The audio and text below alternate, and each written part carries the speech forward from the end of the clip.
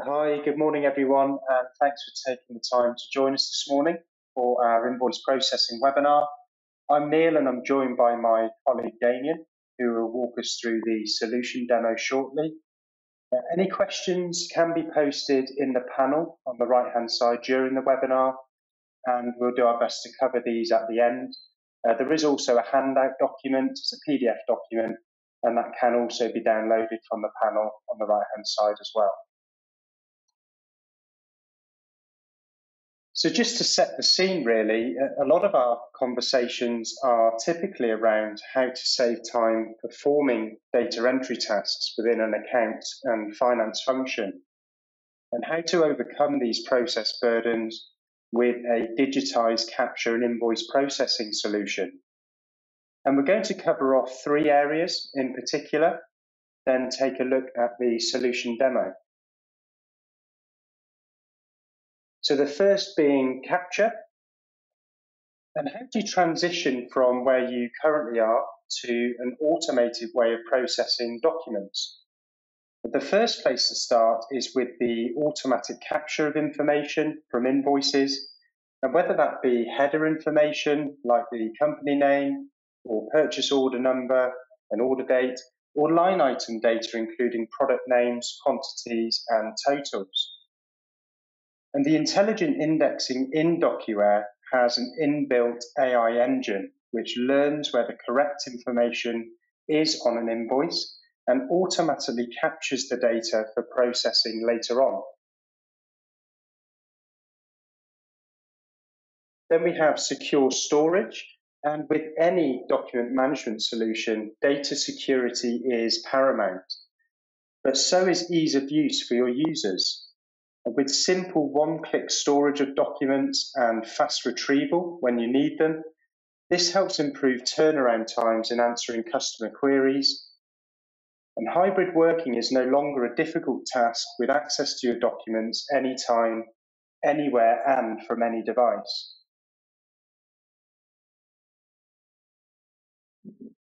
And using the automated workflow, we can push documents into an authorization process and receiving an email with a new document which needs authorizing and being able to approve these on the move can really help speed up the process and increase productivity.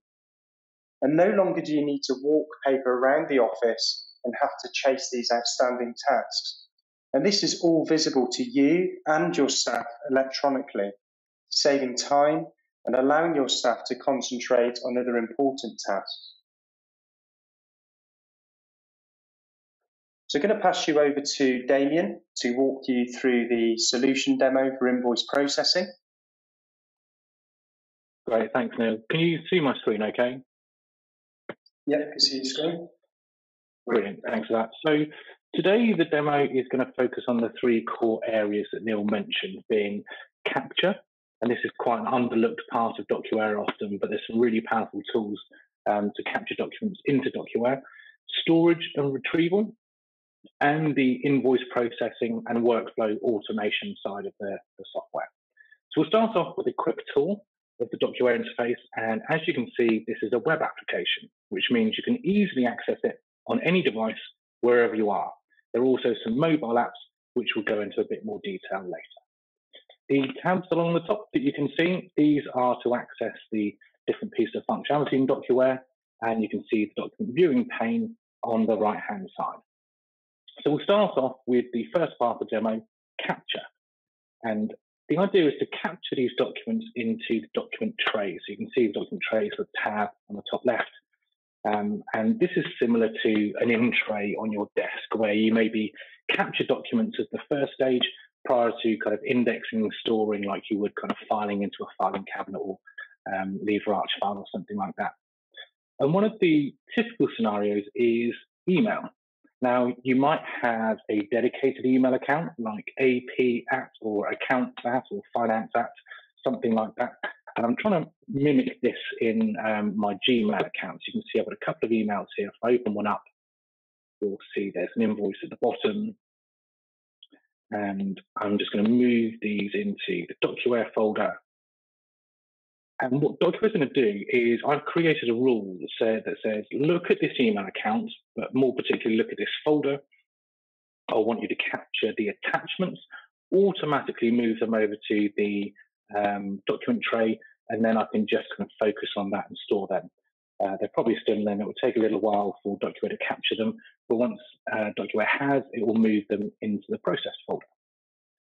You might have a more of an ad hoc situation where individuals in the finance team are receiving um, invoices via email. And again, you can just, using the connect to Outlook module, you can just right click and store in DocuWare. Uh, I just need to log in first. But you can, you'll see that this one has already been installed in DocuWare before. It's already tagged with DocuWare and it has the blue tag there as well. So we'll come back to that one. Um, the other situation might be where you have a batch of invoices that you want to scan. And we can see here we have a multi-page invoice with, just open it, we can see we have a few invoices here. And I'm going to try and mimic the kind of batch scan process, and we will just copy these over to a scan folder. And DocuWare is watching this folder and will automatically capture those documents and it will recognize how many invoices there are, split them, and you can split based on like a barcode or um, a piece of information changing, that kind of thing. Now, in the web interface, we can also import uh, files directly from a folder, and you can scan from a desktop scanner.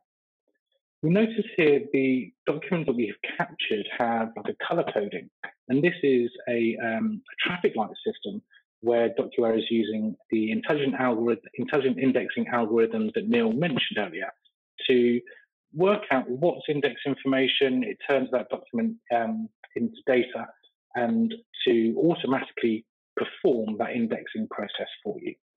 So if we go ahead and we store a couple of these, you can see the invoices that have just been captured from that um, watch folder, the grey bar that's going up on the left-hand corner, this is the intelligent indexing engine trying to turn that document into data and recognize the relevant pieces of index information. So if you grab a hold of a couple of these invoices and go ahead and store them,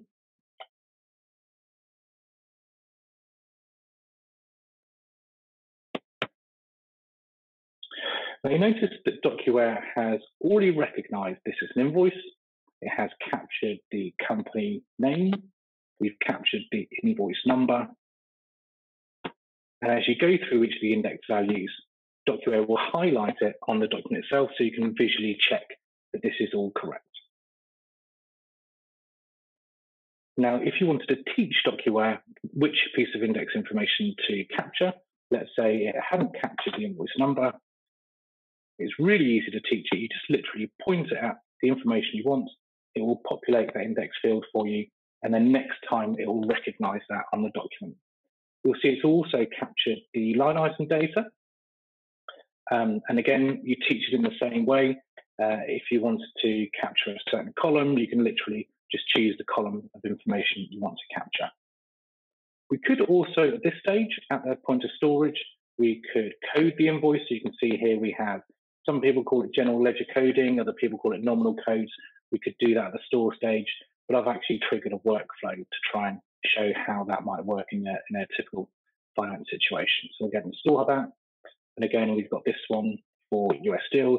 You notice that this one has a particularly large value, and this will come into play as part of the invoice approval workflow. So now that DocuWare has captured all of this information with intelligent indexing, it's now available to use in other applications to reduce data entry or to make decisions on those invoices. And this is where we move on to the next part, which is the secure storage and retrieval. So all of these invoices are now stored within a secure central repository, which makes it quick and easy to find documents. So take, for instance, we've received an email. We go back to our email and we've received an email query here for this particular invoice number. Now, there's a new feature within DocuWare called Highlight Search. And I've created a key combination, which is just Control, Shift, and I. You can create your own if there's something that um, is a bit more relevant. But to find out some information about this invoice, I can literally press that key combination. DocuWare will search within the repository.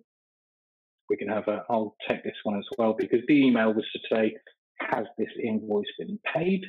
We double click it, the invoice will open.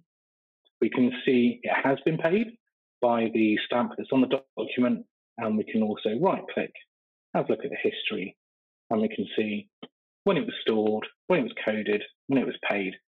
So we can easily go back and uh, reply to that email saying, yes, this has been paid.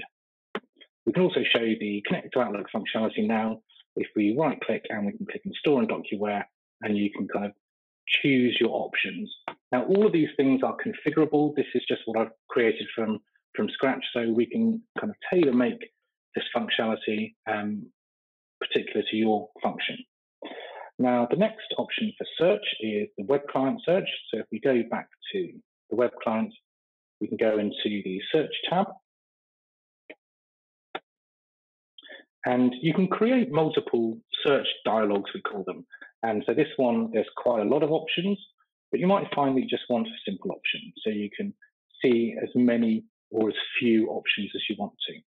So if let's say I have a query for a company, so this company is called in, they want to see the status of their particular invoice. We can grab one of these. We can see a copy on the right hand side, and this one is actually pending. So if I look at the history, we would see, okay, it's at the coding stage. It hasn't completed yet. If you wanted a copy, I could then email it to you, download it, print it, do whatever you want to do. While I'm here, I'm going to use another tool in DocuWare, which is the DocuWare clipboard. So when I click on the clipboard, I can copy some text from the invoice. And the reason I'm doing this is there is another search option which is really powerful in DocuWare, which is the full text search. So if you can't remember maybe what the company was or the invoice number, you can just run a full text search, and this is going to search the contents of every document in the system. So we'll just click on search. And DocuWare has very quickly retrieved those documents and handily just highlighted the piece of text that I was searching for. Now, you might also do uh, a search on a regular basis, and this is where lists come in. So lists are just saved searches so that you can click on that rather than having to type in the information every time. You notice I've got some saved searches here for invoices, and this can be a handy way, like a dashboard, seeing the invoices coming into the business, what stage they're at, and it just allows you to monitor their progress. We also have folders. Now, folders, it's not like a physical folder structure. This is just like a virtual way of organizing your documents. And you can see this is the same data, but I've put a, a, like a virtual folder structure based on invoice status. So I can see how many have been improved, how many have been exported to my finance application, Sage, SAP, whatever it might be, you know, how many are out for approval. And I've also structured my finance information by company. So I could quickly have a look, go into Rapid Transport, for instance, and I can see all of their delivery notes, invoices, purchase orders, that kind of thing go back to search. We could also do a search from the mobile app. So let's say I was out and about somewhere and I've had a phone call and I just want to search for a document quickly. Again, I can use the simple search option, select what document I'm looking for, maybe choose the company and click on search. And again, I can quickly get to those documents. Choose this one because it's got some useful information on it. So the workflow tasks will apply a stamp, which provides a visual history. I can see what's happened to that. So if someone's phoned me on my mobile, I can get to that document. I could also do something with it. So I could share it via my native applications on my mobile if I was able to.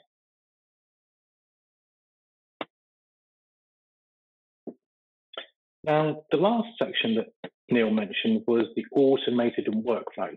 And this is where you can really make a big difference to your daily tasks. Using the tools in DocuWare, you could eliminate most, if not all, of the administration for invoices that match and validate against supporting documentation or data in another system. For those that do need some human intervention, that process could be made so much quicker and easier for everyone involved. So if we have a look at our tasks, we can see, so these are the two invoices that we stored earlier, and these are at the coding stage that we talked about. So I'm going to go ahead and code these invoices. So I'll just move that up a bit. And again, this is just what I've configured. Um, DocuWare can be customized to your particular requirements. I've linked the GL codes to a data list, so I can just select them. This can be mandatory, so you can force um, or you know make sure a user does complete every single line item. I've also got some cost centers on here because I'm using cost centers to assign the approver. So each of these cost centers has a manager that needs to approve their part of the invoice. And I'll just go ahead and code the rapid transport one as well.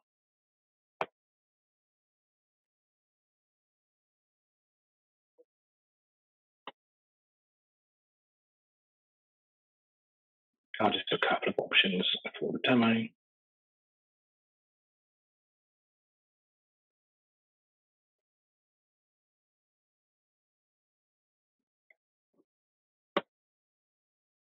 Now, what's interesting is the rapid transport invoice actually has a corresponding purchase order.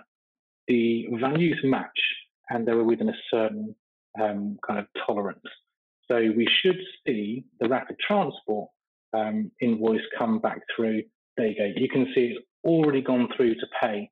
So whereas as a person in the finance team, I might have had to kind of reconcile that against other documents, um, check the delivery note. In DocuWare, it's happened in a matter of seconds. I can right click it, click on select related documents. I can see the delivery notes. I can see the purchase orders that relate to that particular invoice. And if you wanted to, you could double check they matched.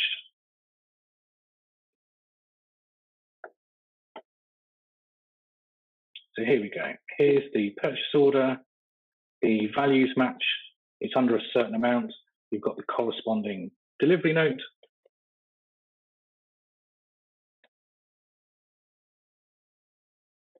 And the invoice itself. Now, the other one was the US Steel invoice, and this doesn't have a corresponding purchase order. So if we go back and just close down the delivery notes and purchase orders, so we can see the US Steel invoice is out for approval. We can see in our list how many invoices we have out for approval. So we've got the US Steel one, and we can see the ones that have already been approved. But if we go ahead and approve this, let's try that. And what we could do is we could actually do this on our mobile again. So whereas we were searching for invoices, we could also approve or perform a workflow action.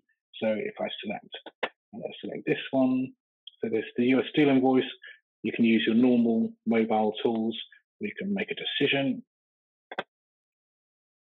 apply the stamp, and click and confirm. So we'll see that task um, leave our list of tasks because we perform that action on our phone. Now, within the task, you might also want to see all of the tasks, not just your own. So if you're a manager of a department, you might want to monitor tasks. So we can see here, I click on that, we have a couple of tasks here that are assigned to the finance manager. And this is because the invoice is over a certain value. And I'll go ahead and say, yeah, that's okay. I can use these options down here or use the stamp again. So I'll just apply a stamp. But it means that let's say the finance manager, I know she's on a holiday, I can perform her task for her, but it also gives me an overview of everything that's happening to try and avoid any delays in that process.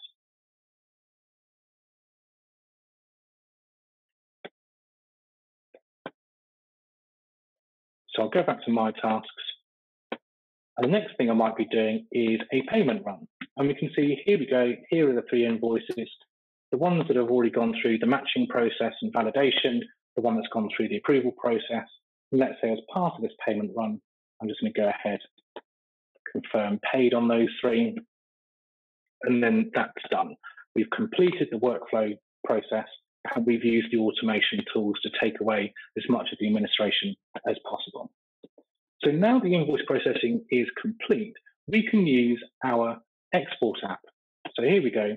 We have the AMS export app with a few different options available, but we're going to use the XLS export. So we can use that to export the data that DocuWare has already captured so that we can import it into our finance package, Sage, SAP, Great Plains, whatever that might be. So if I go to export profiles and I'll run this profile, you could put this on a schedule so it could run once a day, once a week, once an hour, whatever that might be.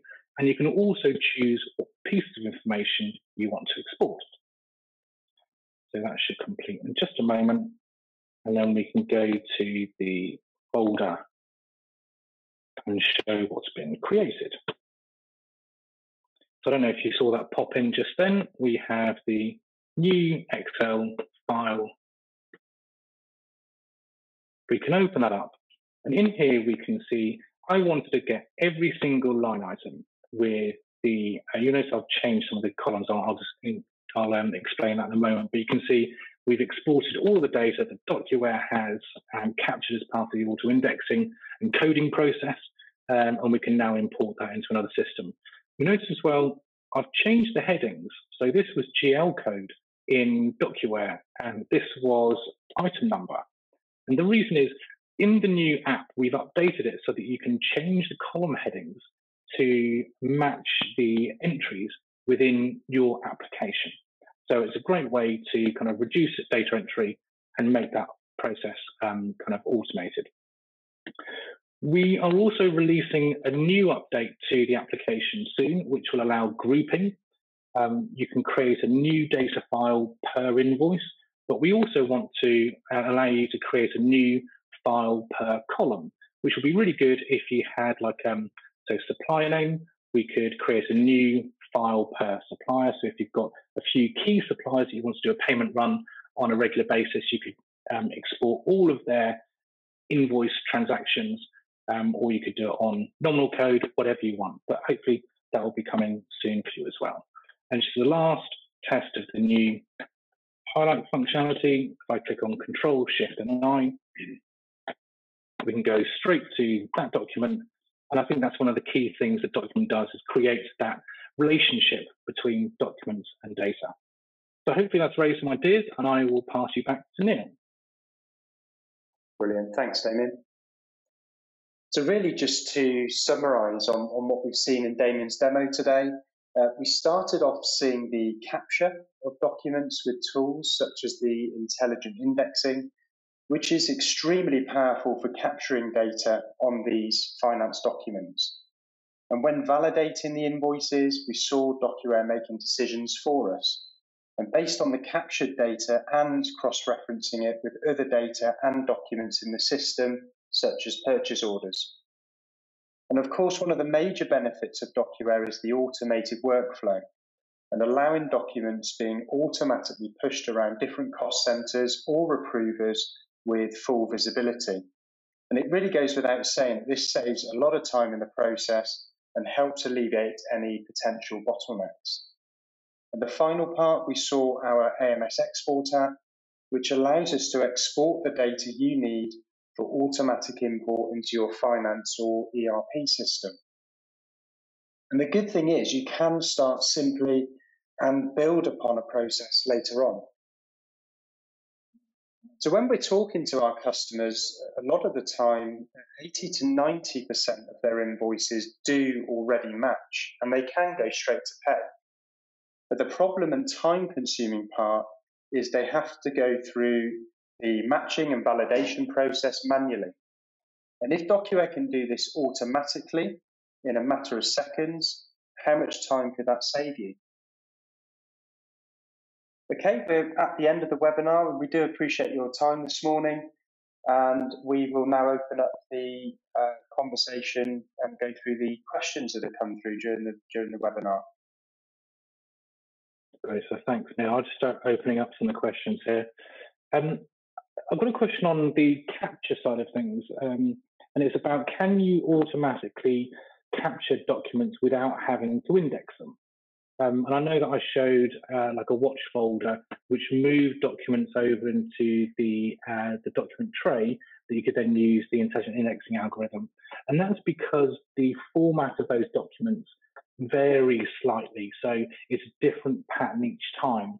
If you have a document, especially a document that you're creating, like a, uh, a dispatch note or a purchase order, where you know the information is going to be in the same place every time, then yes, DocuWare can capture documents and uh, store them without any human intervention. And that's kind of using zonal OCR. So you're basically saying this piece of information is the invoice number, this piece of information is the purchase order number, that kind of thing. Can DocuWare cater for other departments as well? I don't know if you want to take that now. Yeah, it can. So DocuWare is not just built for finance, but it has a strong presence in finance and HR. Um, but also, it can be adapted to be used in a sales environment, uh, the purchasing environment, or maybe a project management department. And really, it could be used anywhere within a business um, that, that sort of has a need or has document driven processes. So it can be very easily adapted. Uh, and the good thing is, via the permissions, you can have different um, filing cabinets or virtual filing cabinets between these different departments. So by permissions, you can actually hide certain documents um, from uh, different people viewing the, the departmental documents.